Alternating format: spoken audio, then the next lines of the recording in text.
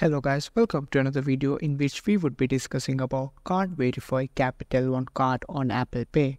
What to do? Are you having trouble that you're unable to verify Capital One card on Apple Pay? Don't worry, in this video we'll help you find a solution for it. Just follow these easy steps.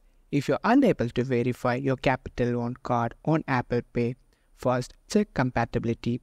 Ensure your Capital One card is supported for Apple Pay some cards may not be eligible. 2. Use the Capital One website.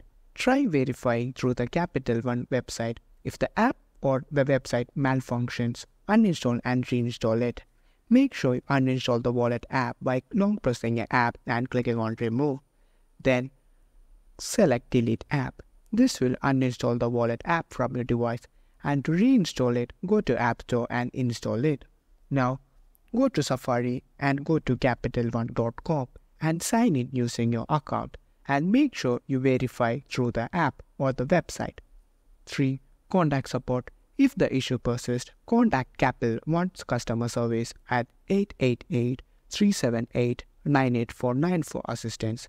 They may have specific instructions or updates regarding the verification process. 4. Switch networks. If you're on Wi-Fi, try switching to cellular data, as some users found this resolved the verification issues. 5. Check for multiple users. If your account has multiple users, the primary account holder may need to log in to the Capital One on your device to complete the verification process. 6. Contact Capital One support.